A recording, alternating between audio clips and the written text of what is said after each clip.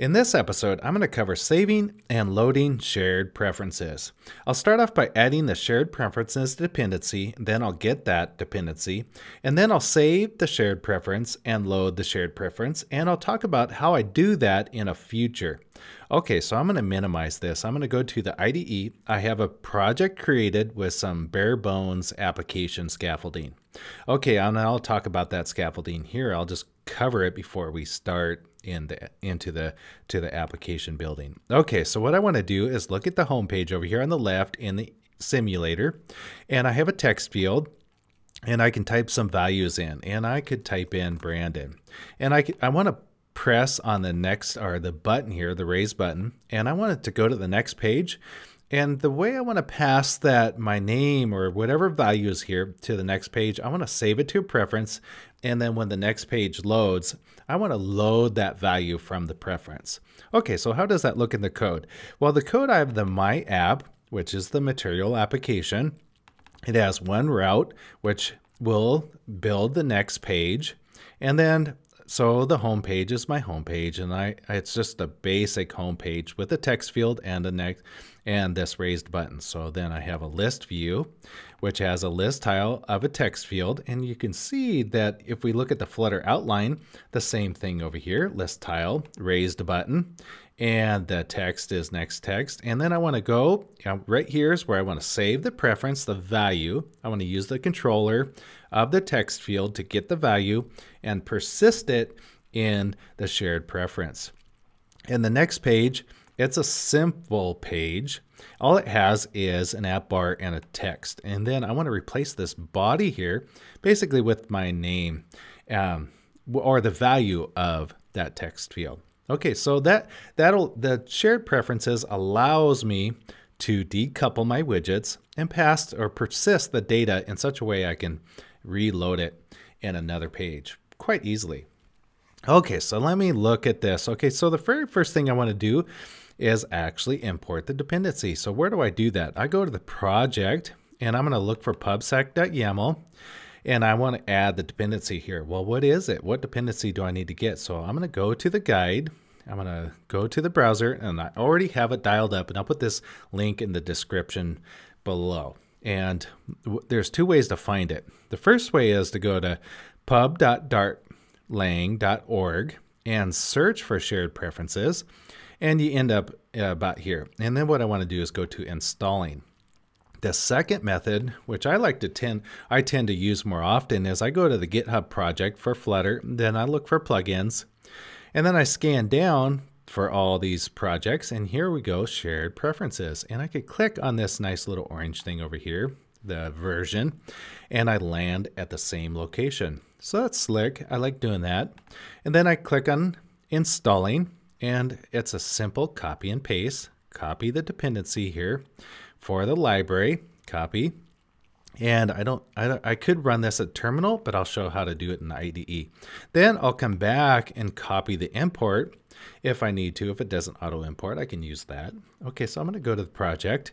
I'm in pubspec.yaml where I declare my dependencies because I can see the dependencies property up here. So I'm going to just put it down here next to the icons and shared shared preferences. Okay, so then I can click on packages get. Well, if I press save, I could probably trigger it to say warn me to do it. Or if I look in main, okay, it warns me here. I could press it here too. Go back to YAML and I'll just press git. Let's let, let me minimize that over to the right while I have the package explorer open on the left. Okay, so our project explorer. Now that it's retrieved the dependencies, which I can see in the console output, I'm going to minimize this because I no longer need that.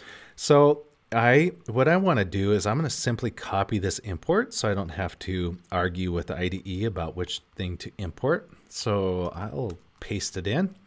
And that is not used yet, so I will be using it in a moment to show you how I do the shared preferences.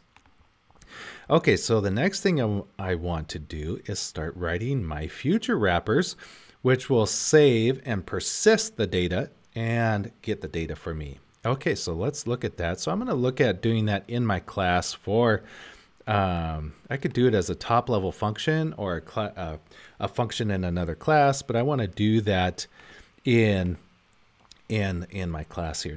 So you could put it where it makes sense to put it in your application. But in this case, I just want to put it somewhere that makes sense. Okay, so homepage, that's my homepage widget. So I'm going to say, uh, okay, I changed my mind. I want to do this as a top level function. So I'm going to go future and I want to return a bool here and I'll show you why here in a second. And then I'll go save name preference. And then I want to give it my name. So this is how I'm going to persist the data. And I'm going to use async because I want to write it in a linear, this future in a linear fashion, one statement after another, instead of doing it like a command pattern or, or a chain of commands. So then I'm going to return, what am I going to return here? So the first thing I want to do is get a reference to the shared preferences library, and then I'll call this prefs for short. So I declared my intent, my my type on the left on the uh, the consuming side, and then what I want to do is go await. Uh, I need to get access to the shared preferences uh, um, library, and that's set up, and that's a future too. So I have to wait for it to complete. And so sometime in the future, then I, I can go prefs dot set string because I want to persist my string. And then I'm just going to simply type in a string here for that name. And I could make this a constant, I suppose, but I'm not going to do that in this episode because I just want to keep it simple and short and sweet. And then I want to put name, the, the parameter. I got to import the, the library for future. So I'm going to go Alt Enter on that and then brings up the auto assist. Then I'll import it. And now that it has pref string, um, what I could do is I got to commit that value. So the return of the commit is going to be the Boolean property. So I know it commits, it, it's, it's real. And I'll show you what I do with that in a little bit. And then now I want to load that. So let's say, what am I going to do to that? So I need to get the string, the name, the values. So I'm going to go get name preference. And then I'm going to go async so I can write my statements in a linear fashion. And what do I want to do here is I need to get, do the same thing. I need to get access to the shared preferences function or library or be, um, behavior and such. And then I want to return turn that. So I'm going to go prefs dot get string and it's going to be named. Here's the key again. Now that's a magic um, variable is what I call it, it, where it'd make probably more sense to make that a constant variable, a, a top level variable, or maybe uh, encapsulate that in in a class that has some static variables. So that way I don't, you know, if I wanted to refactor, it's easy. But in this case, I'm not going to do that in this episode. I'll let you do that in yours. This I'm trying to keep it simple to to get going here. So I'm going to go string name equals. So that's my name. All right, so now all I have to do is, um, what I could do is return my name. So that re will return in the future. Pretty easy. So now I have save my name and get my name. So I'm going to use get on the next page and I'm going to use save on the first page, which will be my home page. So on pressed, let's go save name and I'll make this, I'm going to extract it into a method. So I'll go create method.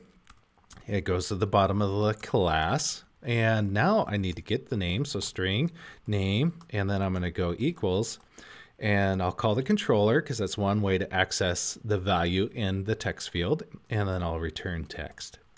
Okay, so that returns the, the value. I'm calling it my name um, in short. I could give it some help you know, help and hint text to say, okay, you should enter your name instead of just having a blank line. But I'm trying to keep it simple, like I said. Okay, so now what? Now I need to save it, save uh, the preference, the name, and and then I'm gonna say bool. I could make a future here too, but I I, I, just, I like this then pattern sometimes. Sometimes I don't. You know, depends on uh, what I'm doing. So boolean committed. And then I can do an inline function like this um, with a fat arrow function, or I could do a method body there. And then I could say, okay, navigator, I want to go of this context of this page, and then we're going to push, push name, and I have next page static variable route name. And the, what that will do is tell me to tell the application to route to the next page. And then it'll build that next page. As you can see up here, if I route, my route name is defined and will build the next page. Okay, so back to where I was. Okay, so let's just say, let's just check that behavior. I'll run the application, or re hot reload it. I've already typed in my name, so I'll just hit next. Okay, so Navigator does work, but I haven't uh, retrieved the value from shared preferences yet. So how do I do that? Okay, so I'm going to go and I'm going to go to the next page. Since I have a top level function, get preference data. So how do I do that? How do I get the value to here? When I so what I want to do is load the value on initialize when I initialize the state and then update the value. So first of all, I'll say this is going to be my private variable, my name, or, or, or some other generic value. Let's just name it my name for now. And I'm going to go string. I'm going to declare my, my type and go name. And then I'll just say empty, empty characters to start. So that way I don't have to deal with a, a, a null right here. Well, let's just say what, what happens if I do leave that as a null? Because uh, it's initialized by null by default hot reload. I'm going to hit the next page. Whoa, okay, lots of red. Okay, let's just give that a, a initial value of empty. And this is one way to do it, of course. You could do it in the init state as well, so you don't have to initialize it. I just give it empty up there. Simple. Okay, so next thing I want to do is when I init the state, initialize the state, I'm going to go, I want to load my name from the shared preferences and update that internal state variable. Okay, so how do I do that? I'm going to get, it's going to auto complete there. And then I want to get the string value, which is a name. And this is going to be an inline function with a body there. And I could say, I could do it another way. I could probably, you know, sometimes, a lot of times I like to go update name. So let's, let me do that. I'll just auto create that, create method. And I'll just put void because there's no, no return value there, just to declare my state. So that way I can read it. Okay, so value, and that's my name. Okay, so now I'm going to go set state because I need to update the update the internal state variable up here. I can't just say uh, um, this name name equals name because that's a state variable and I forgot to make it private there. Okay, I could do that, but that's not going to update it. And let's move that into the state because that says, okay, okay, let's actually update it and then render it. Okay, run and let me run from the beginning up here, the debug button, instead of hot reload lightning icon button. Okay, so next state, I'm going to type in um, Jimmy this time. Next, and there it is. That was pretty easy. So let me go back and I'm going to type in, uh, let's go Angie, and then select next. Okay, so what is it doing? Let's just review that process. And I'll show you the state variable yeah, it was pretty easy to or, or show you the preference. Okay, so when, okay, where was I? Okay, my home page.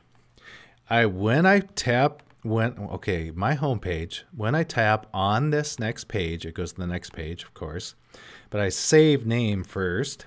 This this method says get the value from the text field and then I pass that to the save preferences and then I use then and I just show the values committed. There's no point here. I could I probably just go like this as well just to to say I'm not doing anything, but I wanted to show that I could return that value there and deal with that. Let's say it wasn't committed. I could probably show an error, an alert dialog. Whoops, something went wrong. Then I tell the navigator, okay, I'm ready to navigate to the next page with push name and I have a static value that defines that next page route. And then I route to the next page. Let me just review the persistence value. So when I save the preference value, name, I get the preferences library instance, and then I persist the value actually I set the value and then I persist it, commit to the lib to the to the store. Okay, so then I go to the next page and then on initialization, I say update the name, which let me just refactor this because I like to name anything that's not publicly accessible to another library private. And so I renamed that, refactored it. So it's private. And then I can tell you it's only for this class. That kind of tells me the intent of this story. Like I'm writing the plot here. I'm my intent is for this class only. Okay, so then I give it, I pass it passes along that parameter uh, name, which is a string, and then I update the internal state variable in this in this case, and I set the state, and that updates and re-renders or renders the, the page. So if I click next, it renders here. So if I look at the get name preference last time, I get the preference, get the string, and then name. Now, there's some other types you can persist and get to as well. I won't cover those in this episode. Yeah, it's pretty easy to look up in the library. So that concludes on using shared preferences to persist data to the store and retrieve it back using a future wrapper. And that's it for this episode. Thanks for watching today. Follow me for more tips and tricks on Flutter, and I'll catch you later.